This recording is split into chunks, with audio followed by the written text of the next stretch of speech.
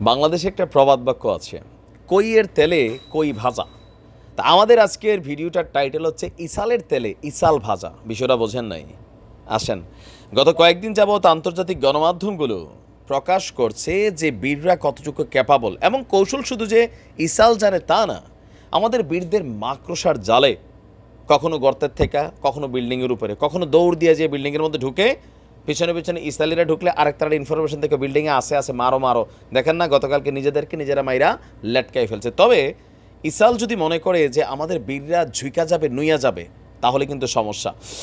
আপনার ইসালের জনগণকে আরও একটু ভাইব্রেশন বাড়াইতে বা ধরেন কি বলা হয় যে আরও একটু রিয়াকশন দিতে আমাদের বীররা কিন্তু এখানে বেশ কিছু কৌশল অবলম্বন করেছে।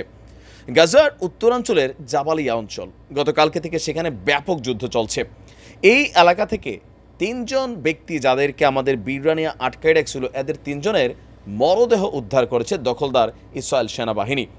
আপনার বলা হচ্ছে যে এই তথ্য জানিয়েছে ইসরায়েলি প্রতিরক্ষা বাহিনী। তবে এই তথ্য প্রকাশের পর আমাদের বীররা বলছে, ভাই, আমরা না আমরা না, তোমরা যে ভবনগুলোতে হামলা চালাইতেছো, এখানেই কিন্তু আছে। তবে কোথায় আছে পারলে খুঁজে নাও। এখন বীরদের দাবি যে তারা তাদেরকে শেষ করে নাই। শেষ করছে কারা? এই যে ইসালের সেনাবাহিনী আউলা জাউলা যুদ্ধ বিমান হামলা, হেলিকপ্টার থেকে গুলি, ক্ষেপণাস্ত্র, ট্যাঙ্ক এগুলো নিক্ষেপ করছে। এই ভবনগুলোর কোথাও না কোথাও সামহাও এই অঞ্চলেই তারা আছে। আর এদের হামলাই বেসিক্যালি ইসালিরা মারা গেছে। উদ্ধারকৃত তিনজন যারা তাদের দেহ উদ্ধার করেছে, শানি লোক, অমিত বুশকিলা এবং ইজহাক গ্যালে রেমতার। এই তিনজনকে গত অক্টোবরে নোভা মিউজিক ফেস্টিভ্যালে আপনার কি বলা হয় যে তাদেরকে নিয়ে যাওয়া হয়েছিল। আচ্ছা ইসালি গণমাধ্যমগুলো বলছে যে তাদের দেহগুলো একটি সুরঙ্গের ভেতর থেকে উদ্ধার করা হয়েছে। আর বর্তমানে এই ঘটনাটা প্রকাশ হওয়ার পর বীরদের পাল্টা কাউন্টারের পর ইসরায়েলের ভেতর বিক্ষোভটারও কয়েক ধাপ বেড়ে গিয়েছে। আপনারা জানেন যে এই মুহূর্তে ইসরায়েলের প্রতিরক্ষা মন্ত্রণালয়ের সামনে ইসরায়েলের আমজনতা বিশেষ করে যাদের আত্মীয় স্বজন এখানে কানেক্টেড অথবা যারা যুদ্ধ বিরোধী অবস্থানে আছে, যারা চায় না যে রাফাতে এই ধরনের অন্যায় হামলা হোক তারা কিন্তু একত্রিত হয়ে রাজপথে নেমে এসেছে। আর সেখানে পলিটিক্স তো সব দেশে আছে, বুঝেন নাই? নেহুর সরকারের বিরুদ্ধে যে বিরোধী রাজনৈতিক দলগুলো আছে, তারাও কিন্তু একটা শক্ত অবস্থান ধারণ করেছে।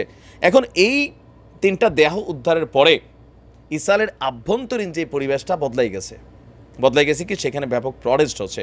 আর একটা বার্তা যাচ্ছে ইসরায়েলি সেনাবাহিনীর জন্য, ইসরায়েলের জনগণের পক্ষ থেকে। কোনটা? তোমরা এই হামলা বন্ধ করো। কারণ ওইখানে আমার পরিবারের লোকরা আছে। মাঝে মাঝে আমাদের বীররা ভিডিও ফোকাস করে, প্রকাশ করে যে দেখো, তোমাদের তারা কিন্তু এখনও জীবিত, আমরা কাউরে শেষ করি নাই। তবে তোমরাই তোমাদেরকে শেষ করে দিচ্ছ। এভাবেই ইসালের তেলে ইসাল ভাজাইতে হবে। তাহলে বিনা রক্তপাতে যুদ্ধটার একটা প্রেক্ষাপট অন্যদিকে নেওয়া হয়তোবা সম্ভব, তবে এখন নিহত ভাই স্বৈরশার্পের শাসক, তাই না? তার দেশের জনগণের বিরুদ্ধে পুলিশ লাঠিচার্জ করছে রাবার বুলেট নিক্ষেপ করছে, কাঁদনে গ্যাস নিক্ষেপ করছে, যেগুলা ইসরায়েলের জনগণ কখনো দেখে নাই। শুধু শুনতো, আমাদের বীররা সন্ত্রাসী। এবার তারা বুঝতে পারতেছে কারা সন্ত্রাসী। দেখা যাক, ভালো থাকুন, আসসালামু আলাইকুম।